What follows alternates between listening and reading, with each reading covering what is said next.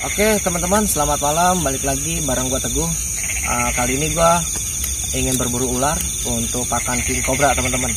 Uh, Karena king cobra ini dia ular kanibal. Dia pemakan ular juga teman-teman.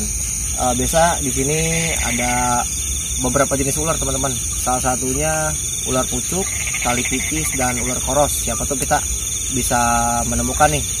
Uh, salah satu di antara itu kita langsung explore aja teman-teman. Siapa tahu kita dapat. Yuk ikutin terus. Wow dalam banget. Tuh uh, ini tempatnya becek banget teman-teman nih.